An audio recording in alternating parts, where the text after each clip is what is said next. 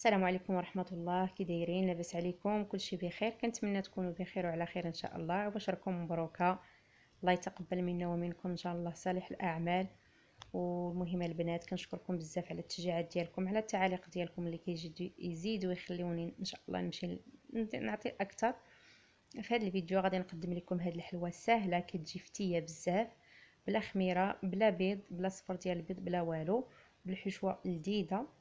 خليكم معايا إلا بغيتو تعرفوا على المقادير وما تنساوش تبارطاجيو الفيديو مع الأحباب والعائلة.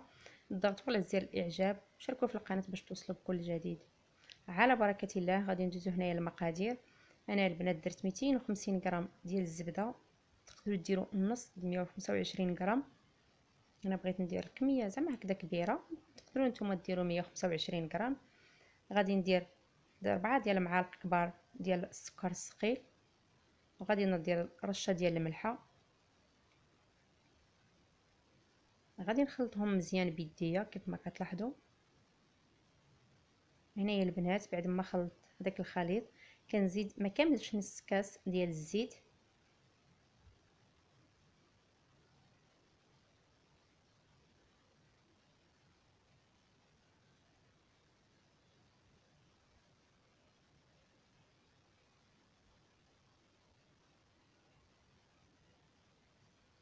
هنايا بعد ما خلط داك المكونات ديالنا مزيان كنضيف الفرينة. صراحة ما عبرتهاش على البنات كنبقى نضيف المهم بشوية بشوية ديال الفرينة. ما نضيفوش الكمية كبيرة في الأول. بعد ما كملت العجينة ديالي كما كتلاحظوا هنايا كتجي شوية ما كتجيش قاصحة كتجي شوية رطبة. باش هكذا تجينا العجينة ديالنا الكاطو الحلوة ديالنا عفوا آه هي كتجي فتية. دابا غادي نخليها ترتاح. الثلاجة قد الوقت اللي غادي نديرو الحشوه إن شاء الله. على بركة الله كيف ما كتلاحظوا البنات عندي هنايا التمر. بقات ليا في واحد الكاطو استعملتها فيها شوية ديال الجنجلان عندي هنا واحد المعلقه صغيرة ديال الزبدة. في الأول كنحاول نفرق هذا التمر. أنا بعد ما كملت كنضيف ديك المعلقه ديال الزبدة. عندي هنا واحد الخليط ديال الكاوكاو واللوز. كانوا عندي مهرمشين. وهنايا درت واحد المعلقه ونص ديال الجنجلان حيت كان عندي ديجا في, التمر. هنا درت واحد شوية ديال السكر نتاع الفاني كيف ما كتلاحظوا. أنا ما بغيتش ندير القرفة حيت ولادي ما كتعجبهمش القرفة. تقدروا تعوضوا الفاني بالقرفة. وهنايا كندير حتى الحشوة ديالنا رشه ديال الملحة. وكنزيد شوية ديال الماء الزهر كيف ما كتلاحظوا هنايا واحد المعلقه ولا جوج. كنخلطها مزيان ما تكثروش من الماء الزهر حيت هو اللي كينشف لينا العجينة. عفوا اللي كيحش اللي كينشف لينا الحشوة من الداخل ديال الحلوة ما تكثروش هنايا كنحاولوا نخلطوا مزيان هذاك العناصر كاملين. هنايا بعد ما. خلطهم البنات ضروري غادي نديرو في سطح العمل. وكنحاولوا ندلكوها باش هكذا تكون عندنا الحشوة مع الكامل الداخل ديال الحلوة ديالنا. وعاوتاني إلا كاينة شي حاجة قاصحة والمهم في التمر ولا المهم ندلكوها مزيان. صافي الحشوة ديالنا هي واجدة. غادي نوضو باش هكذا نكورها.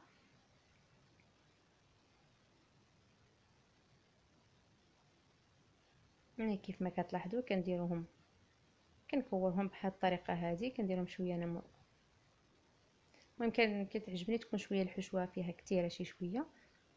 ومن بعد ملي غادي نعمرهم إلا شفناهم راه كبارين نقدروا نقصوا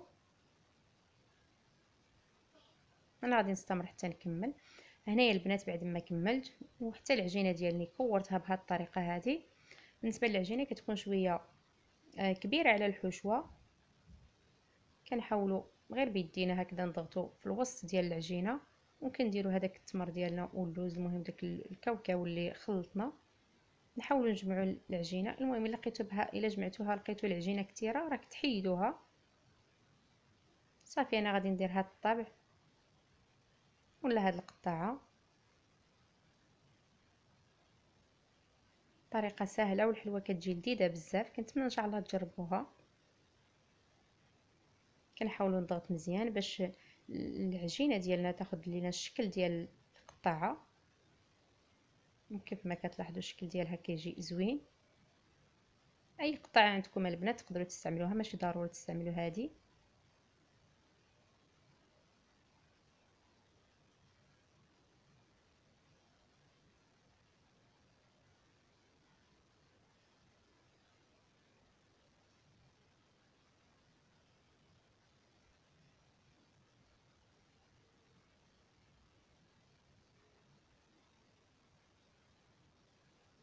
طريقة سهلة. المهم كلشي راه زعما باين في الفيديو. ما كاين نحتاجوش نديرو فرينه حيت عندنا. العجينة ديالنا فيها الزبدة. أنا غادي نستمر حتى نكمل.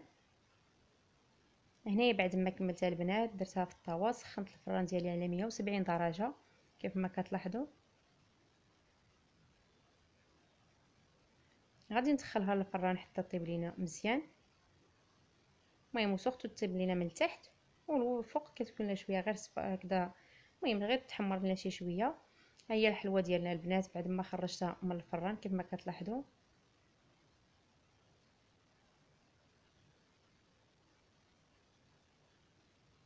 دابا غادي نرش عليها شوية ديال السكر الثقيل ها هو الشكل النهائي ديال الحلوة ديالنا. كنتمنى إن شاء الله تنال الإعجاب ديالكم. كتجي البنات زوينة بزاف كتجي رائعة. إن شاء الله إلا جربتوها غادي ت... أنا متأكدة غادي تعجبكم. وكيف ما كتلاحظوا كتعطينا واحد الكمية تبارك الله كبيرة والحلوه راه كبيرة بزاف ماشي زعما شي حلوة هكذا صغيرة. هانتوما كتلاحظوا من الداخل كيفاش كتجي هذيك الحشوه كتجي رائعة والحلوه ديالنا البنات شوفوا كتفرتت كتغير تضغطي عليها هكذا بصبعك. صافي كل واحد كل حبة كتمشي بوحدها.